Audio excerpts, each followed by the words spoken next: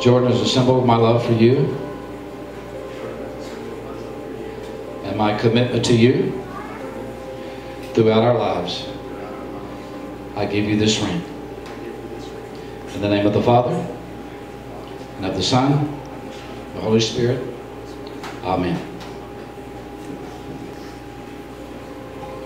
Jordan, if you'll place the ring on Shane's finger repeat after. Shane is a symbol of my love for you and my commitment to you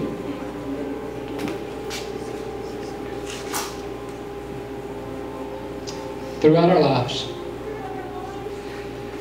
I give you this ring in the name of the Father, of the Son, the Holy Spirit. Amen. Shane, you may now kiss your bride.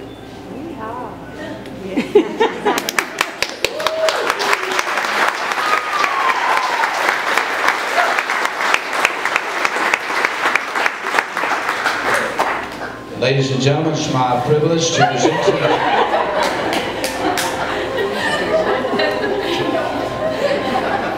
Try that again. It's my privilege to present to you Mrs. and Mrs. Shane Starkey.